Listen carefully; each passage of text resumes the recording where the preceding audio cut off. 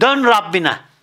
Rabbine döndüğünde seni avuçlayan, seni saran, seni sarmalayan, senin her dediğini duyan, işiten ve cevap veren bir Rab bulacaksın. Sen Allah'ın dinine dön. Hocaların dinine değil. Ve la ilahe illallah dedikçe göreceksin ki kalbinde ılık ılık o imanı, o İslam'ı yaşayacaksın. Allah seni onlardan eylesin inşallah.